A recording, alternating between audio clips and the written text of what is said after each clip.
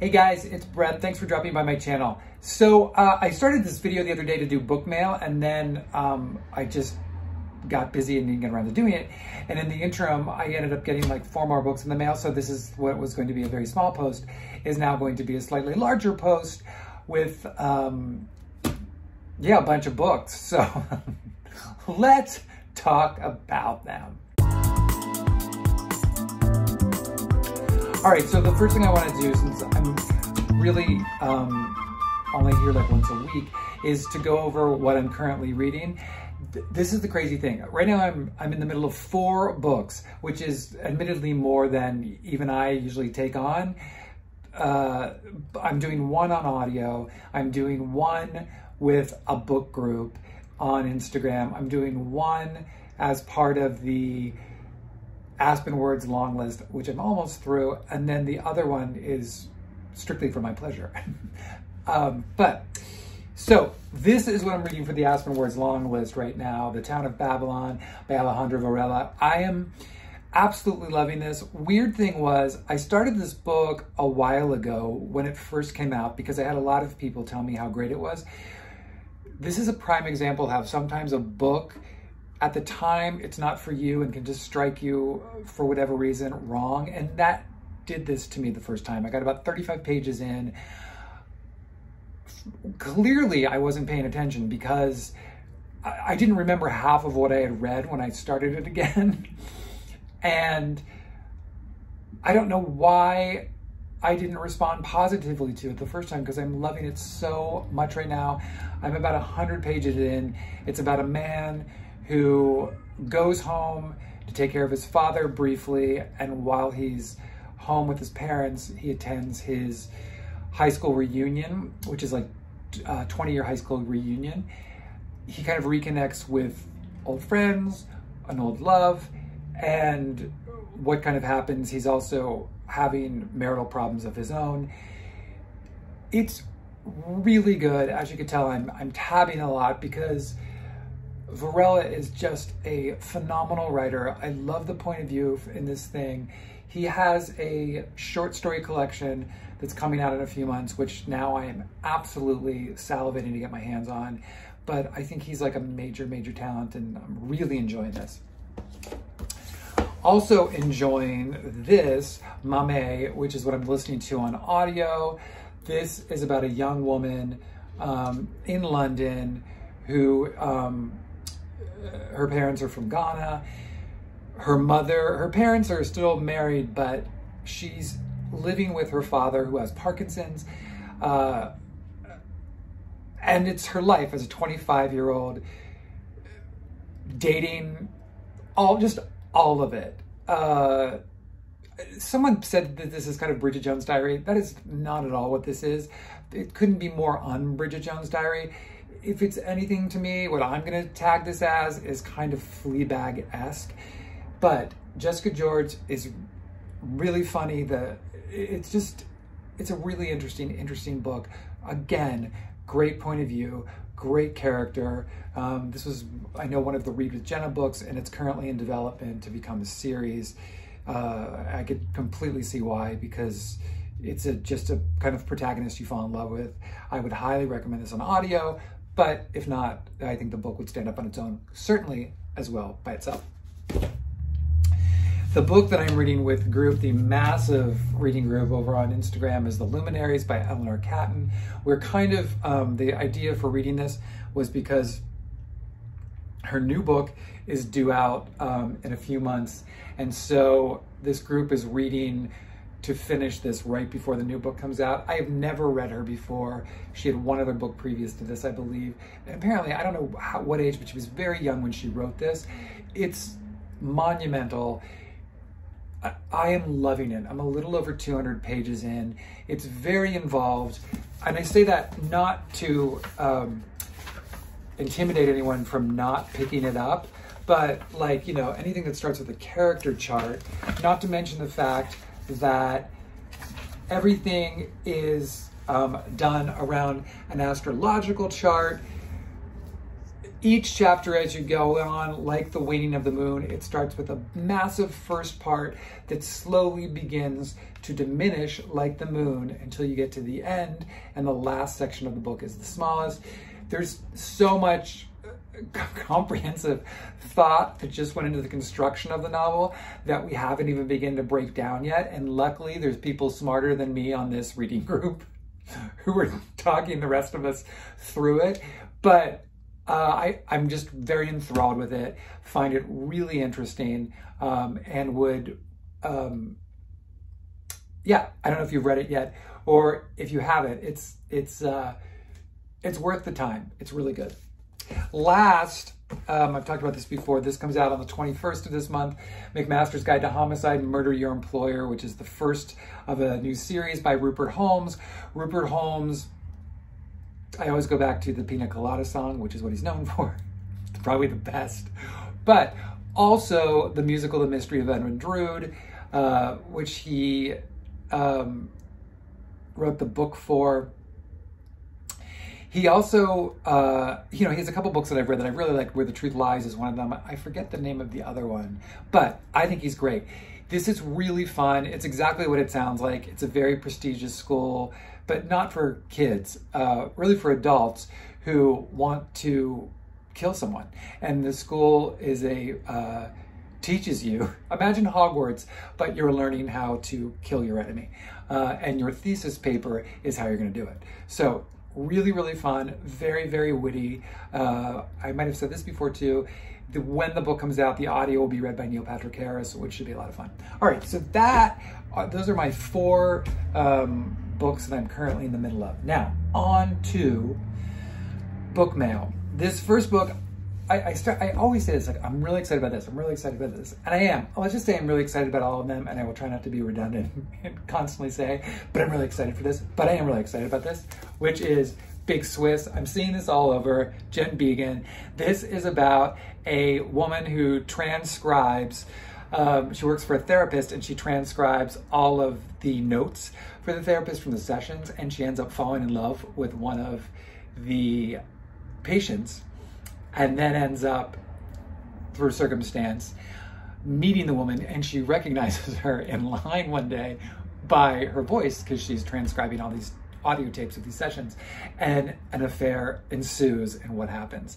Um, I love this cover so much, but I'm so this is something that um, might dive into my February TBR if I can get through the three other books that I still have waiting to be read. Uh, but excited for this one. The other thing that I'm really thrilled with that Astra House just published is Collected Works by Lydia Sandgren.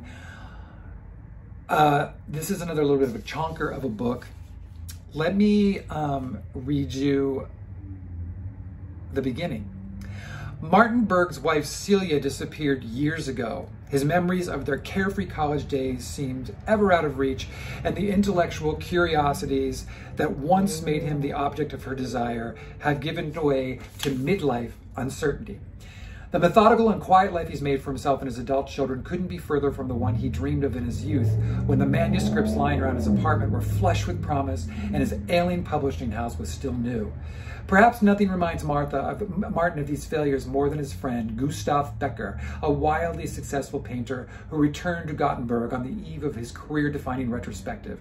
Gustav, meanwhile, is hurting too. His obsession with Cecilia's inexplicable disappearance has made his art fixated on her image. When posters for Gustav's retrospective plaster Cecilia's face on major billboards across the city, Martin's daughter, Rachel, or Rakel, R-E-K-E-L, learns a haunting fact that points her towards her mother's whereabouts. She and her brother chase the clues across time, memory, and Europe to discover why Cecilia abandoned her family with the imagined hope that the question of what makes a person leave can never be answered. Uh, this was like a huge hit apparently in Sweden. So this is the first time it's hit the States. Uh, I've seen a few people have read it and said it's fantastic. It seems like the total kind of book that would appeal to me, which is why I bought it, and maybe you too. Uh, the Illumicrate book for this month, I know really nothing about other than tell you what a gorgeous cover, Godkiller, by Hannah Kaner. Beautiful, beautiful, beautiful. I mean, look how beautiful that is. Um, let me read you the back of this one. Kissen ripped her sword out through the god's side, and a stink of blood and dank water, and the shrine behind the waterfall shattered. The god made no sound as her flesh turned back into the current and sank into the river, releasing it for the town and villages it fed to thrive or fail. But she managed a last barb to Kissen's mind. When Middren falls to the gods, your kind will be the first to die. I give you Godkiller. That's it. One of my favorite covers this year so far, What Napoleon Could Not Do by D.K. Nnuro. This is a brother and sister who moved to the United States from Ghana and the, the story of their successes and failures as they chase the American dream. Love this cover.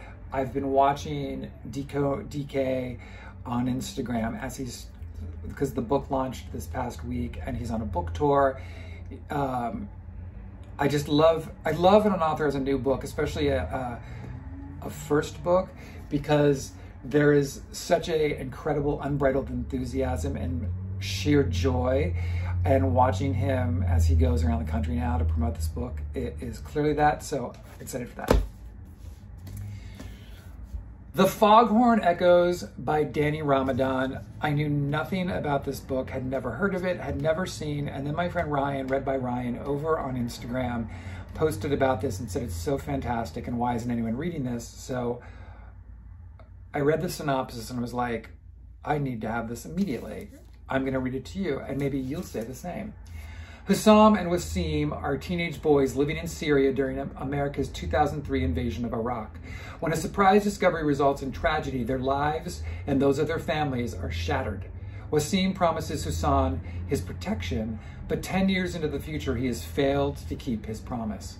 Wasim is on the streets seeking shelter from both the city and the civil war storming his country. Meanwhile, Hussam, now on the other side of the world, remains haunted by his own ghosts, doing his utmost to drown them out with every vice imaginable. As Hussam and Wasim come to terms with the past, they begin to realize the secret that haunts them is not the only secret that formed them.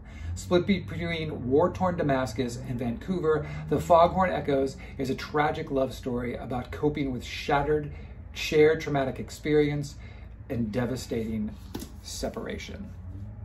I think it sounds amazing. So the next book is Atomic Family, which just got sent to me by Blair Publishing. So thank you very much for this copy. I don't know really anything about this and I haven't seen it anywhere yet, but it's set during the Cold War. It is about a, uh, set in South Carolina in 1961 and uh, Dean Porter, the, the kind of patriarch of this family, works in a nuclear power plant, or a, uh, sorry, a nuclear bomb plant. And it all um, focuses on um, will there be an impending war, the effect it kind of has on the full family. So, again, know nothing about it. I'm going to try to maybe read it before the end of the month so I can tell you guys more about it. Um, but I think it's a really interesting cover at any rate.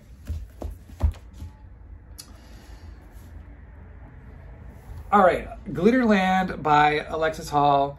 Um, this was actually a um, a reissue. This was an older book by Alexis Hall. Alexis Hall of um, the kind of sweet rom com boyfriend material, and then last year's husband material. Um, this is, I think, another kind of romance that revolves around, uh, not the romance revolves around, but the kind of story's fulcrum point is about anxiety, uh, is about um, people with um, mental health challenges. And that's kind of the centerpiece of this book, to my understanding. So, have no idea, like the cover, uh, my friend Dennis really liked it, so we're gonna try. I don't know where I saw this next book. Absolutely have no idea, except it wasn't here because it's not in the States. Um, it's called Ascension by Martin MacInnes. And I loved this cover so much. And I didn't even see that it was something that was going to be published in the States. So I went ahead and got it. Uh, I'm going to read you the blurb about this as well. Lee grew up in Rotterdam, drawn to the waterfront as an escape from her unhappy home life and her volatile father. Enchanted by the undersea world of her childhood, she excels in marine biology, traveling the globe to study ancient organisms. You know what? Maybe it's because I was so obsessed with the octopus. I don't know. When a, when a trench is discovered in the Atlantic Ocean, Lee joins the exploration team, hoping to find evidence of the Earth's first life forms. What she instead finds calls into question everything we know about our own beginnings. Her discovery leads Lee to the Mojave Desert and an ambitious new space agency. Drawn deeper into the agency's work, she learns that the Atlantic Trench is only one of several related phenomenon from across the world, each piece linking up to suggest a pattern beyond human understanding. Lee knows that to continue working with the agency will mean leaving behind her declining mother and her younger sister and faces an impossible choice to remain with her family or to embark on a journey across the breadth of the cosmos. So really have no idea. I can't wait to tell you all more about this book, but like what a beautiful, mysterious, kind of great cover that suddenly called to mind the opening scene of Jaws. But okay, so sounds really good. All right, and the last book was something I just got from MCD, who are so nice to me, and I appreciate it, and thank you, called uh, You Know Her, a fierce, funny, gonzo feminist thriller that will be the talk of the genre. If you read one thriller this year, read this one. Um, okay, basically, the blurb in the beginning, as they say, Killing Eve meets My Sister the Serial Killer in this lush, savage Southern Gothic about two women, a fledgling murderer, and the cop hell bent on catching her. Oh, very Killing Eve. Uh, I should say Killing Eve first season because then it went downhill and became terrible. So, all right, so I have no idea, but this sounds really, really fun. Um, and this will be published in uh, April. So I will try to read this before April 4th to give you all the skinny for you thriller lovers if you should get this. All right. That's my group peeps. Um, thanks for hanging in. I hope there's something in there that piques your interest maybe. Let me know. I will um, list all of those books at the bottom and if they haven't published yet, I will try to remember to put their publication dates as well. Please uh, let me know what you're reading right now, how your February is going. It's insane to me that next week we're halfway through February already. Um, I hope you all have a wonderful week, weekend, wherever you are in that time continuum when you're watching this video. And as always, thank you for dropping by. If you like what you've seen, please like and subscribe, and I will see you all soon. Thanks.